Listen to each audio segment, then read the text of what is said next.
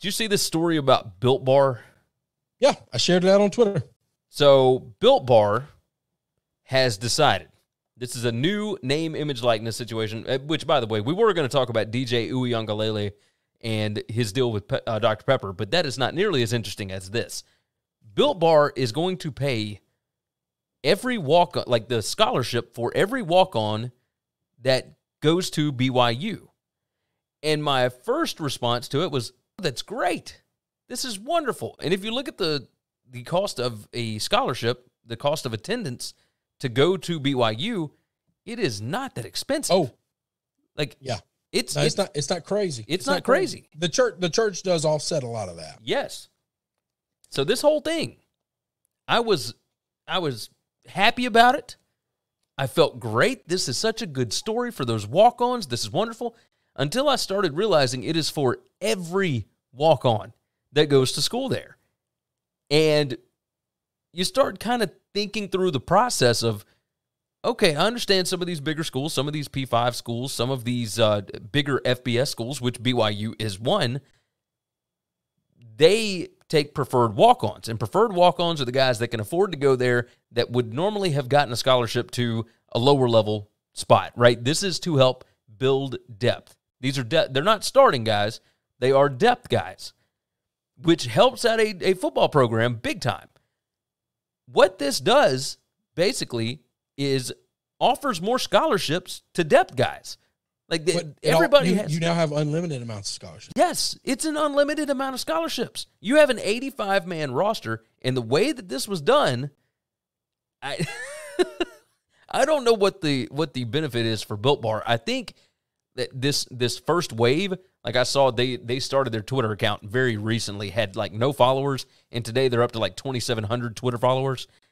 It- it- the first response is going to be worth a ton, but because I'd never heard of Built Bar until today.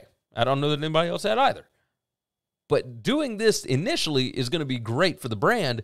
I don't know what value they get from this going forward, other than the fact that the CEO is a BYU fan, and now he is providing a way for BYU to just stockpile.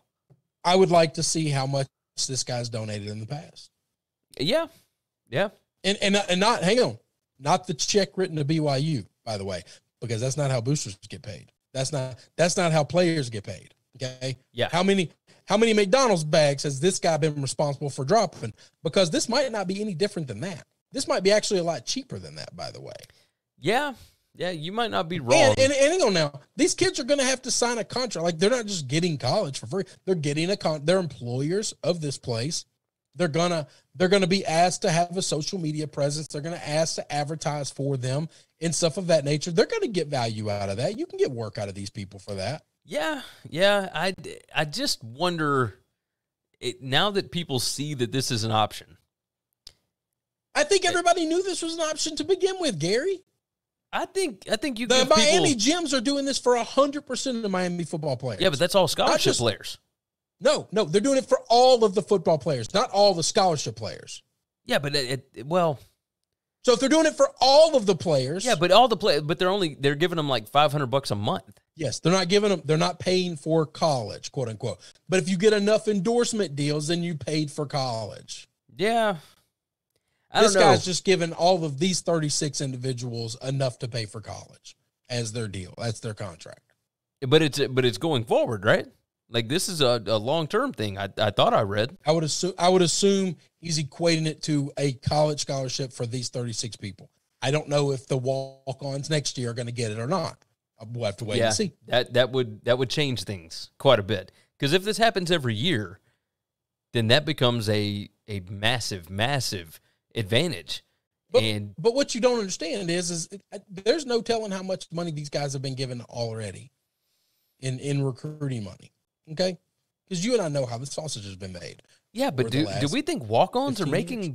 like are No, they getting walk-ons or not. But if you're, if now I no longer have to pay the quarterback the twenty thousand dollars that I was kicking in for the quarterback, and the and the star running back and the star offensive tackle and the star defensive players, I no longer have to send my McDonald's bags to them because they can get legit contracts and they're going to make seven figures or six figures or you know five figures pretty easily.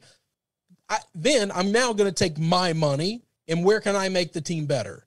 I'm going to give it to the guys that that are not getting money, that are not getting scholarships, and that that adds the depth. Yeah, yeah. Did you see uh, Ross Dellenger tweeted it earlier about the split for the NIL money? You know, we had talked about uh, here it is the NIL market share uh, from transactions on Opendorse for the month of July, and football is 79% of all NIL deals. Men's yeah. basketball is 9.6. So go ahead and rack that up as 90% of all the deals. And, and we knew it was going to be like this. But that's did anybody think it was going to be anything other than that? Well, it, it, listen to the next one though. Women's volleyball. Yeah, I was about to say, right I guarantee you it's either women's volleyball or gymnastics and it's these girls that are gorgeous and and have massive Instagram followers. Gymnastics didn't even make the list. So women's well, volleyball think, is 5.5%. It, here's men's lacrosse at 1.3%. Men's golf is 0.8. Softball is 0.8. Women's track and field 0.5. Wrestling 0.4. Women's tennis 0.3. Women's golf 0.2. All other sports combined make up 1.6%. So, but you're talking about 1% of all this stuff. I'm I'm going to bet lacrosse, golf. I'm going to bet most of these. You're talking about sports that need equipment. And I'm going to bet these are just companies that are just going to give them equipment. Like these yeah. kids aren't getting money unless they're really, really good. I'm going to bet most of these kids aren't getting a nickel, but TaylorMade is going to give you some irons. Yeah, that, and I'm going to make you make sign a contract, and now you're going to be a sponsor for TaylorMade, but you're not going to have to pay for new clubs. Yeah, that, that makes sense. Lacrosse, you you got a shitload of equipment for lacrosse, and and we're going to provide all the equipment, whoever makes that, and and you're going to be a spokesman for us. Like like I'm going to bet we're going to see a lot of deals that are like that. Any any sport that requires a bunch of equipment we're going to see a bunch of that. And I'm I'm totally okay with that. Like I well yeah no I'm totally okay these with guys but... listen it's better that right now they were buying their own lacrosse gear they because I guarantee you the schools weren't paying for it all right yeah. they were buying their own golf gloves because I 100 percent know that the schools weren't paying for that so yeah. so now you're not having to pay you know and if you're good at golf and you're trying to play competitive golf you're not paying 1500 bucks for a nice set of clubs yeah that's a lot of yeah. damn money no you're right you were right car didn't cost 1500 dollars Jesus.